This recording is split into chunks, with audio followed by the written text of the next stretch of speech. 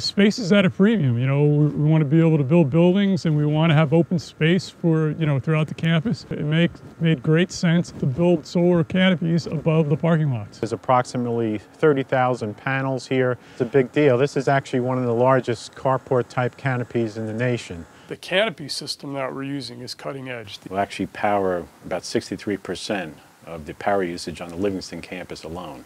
To be able to power up over 50% of a campus through uh, solar power is uh, pretty phenomenal. Didn't even know it was that much. I actually never thought that it would be that that much power from just the sun itself. Because of the subsidies that are in the state of New Jersey and the federal credits that are available, it became a no-brainer to do it. We'll be pretty much cash positive right from the get-go. Utility companies in New Jersey are required uh, actually to provide so much renewable energy every year, and if they don't have the amount of renewable energy, they need to buy credits. And utility companies will pay for those. We'll get money for those.